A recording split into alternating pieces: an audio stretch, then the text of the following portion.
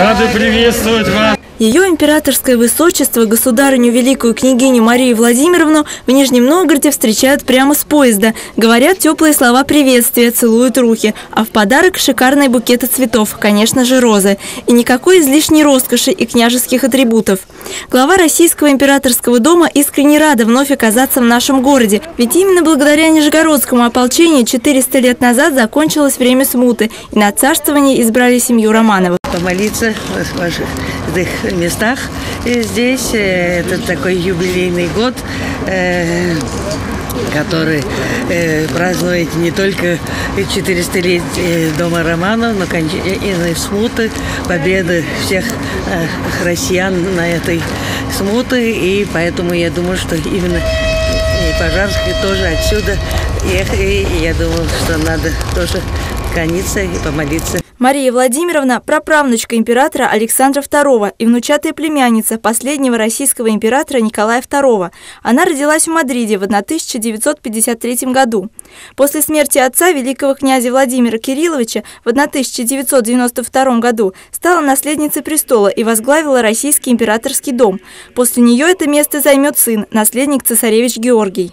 Раньше, теперь и надеюсь, что э, и мои внуки, и дальше их внуки всегда будут готовы служить э, Россию в любом виде, как она э, почувствует, что э, мы можем быть им пользой. В Нижний Новгород ее императорское высочество приехало только на пару дней. Свой визит она начала с посещения Михаила Архангельского собора. Великая княгиня приняла участие в торжественном богослужении и возложила цветы на могилу Козьмы Минина.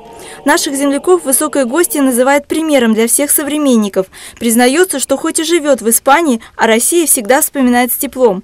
Впервые в нашей стране Мария Владимировна побывала в 1992 году. Правда, на русском языке говорит с детства. Ощутить русский дух ей позволяют прогулки по старым улицам. Я надеюсь, что смогу немножко походить по улицам, которые мне всегда так доставляют огромное удовольствие, потому именно, именно есть еще ощущение э, ну, наших э, корнях, нашей традиции. Э, здесь все живое, и очень надеюсь, что вы всегда сможете это сохранить, потому что это, безусловно, наша история, мы не должны, и даже и культурная история наша, чтобы и будущем поколении она и осталась бы. Вот это, все эти здания, это просто такая прелесть. Так что я очень рада, что вы смогли до сих пор их сохранить. В Нижнем Новгороде Мария Романова остановилась в гостинице с видом на Волгу и уже успела отметить соединившую два берега канатную дорогу.